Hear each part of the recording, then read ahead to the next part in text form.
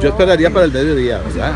Eso lo, lo vamos a confirmar eh, dentro de un rato porque venimos entrando, quiero ver cuánta gente pudo eh, llegar ya y cómo, cómo los encuentro en, cuanto a su posibilidad, les repito, una eh, extraordinaria actitud de los, de los de la gente del balcón. Ayer en un momento determinado nos dijeron, no, seguimos acá, ¿no?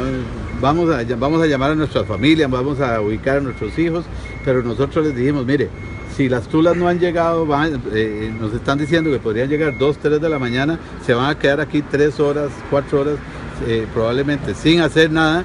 Y perdónenme, yo eh, les tengo una especial consideración a sus familias que han soportado, por decirlo así, ellos son trabajadores, ellos mujeres, son madres, son esposas. Yo ahora lo dije en un medio. Yo respeto profundamente eh, a, estas personas del, del Balcón Verde que han trabajado con un gran esfuerzo. Tienen un salario, sí, pero las fuerzas se acaban e incluso hay, hay tiempos en que no se debe de llevar a un trabajador más allá.